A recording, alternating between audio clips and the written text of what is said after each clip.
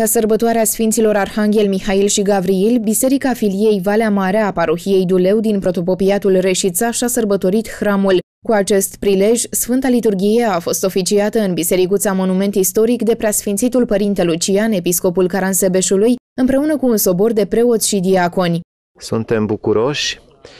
că am găsit aici o biserică primenită, o biserică curată, o biserică veche, dar cu uh, credincioși foarte harnici, care, într-adevăr, împreună cu preotul lor paroh, au demonstrat că această biserică de-a lungul uh, secolelor a păstrat uh, sfânta și dreapta credință și astăzi este o candelă aprinsă de rugăciune și uh, de binecuvântare din partea lui Dumnezeu. Ne-am bucurat să vedem uh, aici la Valea Mare uh, un preot uh, tânăr, dinamic și activ, credincioși puțini, dar strânși, uniți în jurul Sfintei Biserici. Răspunsurile la slujbă au fost date de grupul psaltic Etos al Episcopiei Caransebeșului. Sunt convins că vizita preasfințitului Părinte Lucian, episcopul la Caransebeș, de astăzi de aici, s-a constituit ca un imbold pentru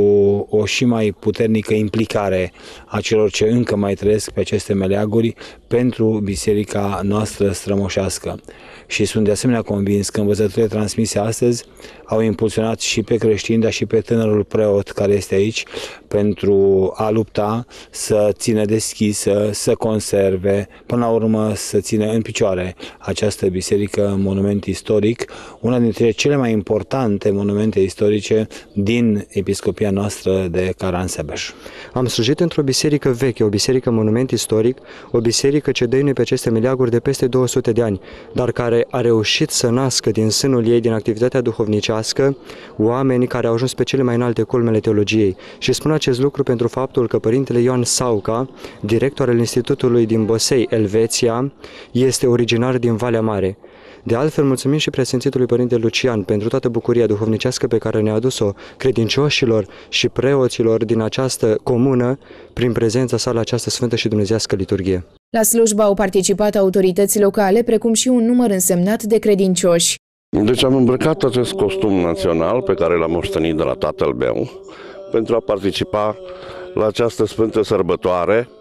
ne bucurăm nespus de prezența în rândurile noastre a Preasfințitului Părinte Lucian și, din nefericire,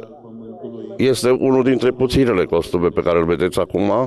Au început să se cam piardă vechile obiceiuri ale satului care au fost superbe și care, din păcate, se răresc tot mai mult. Mulțumim preotului nostru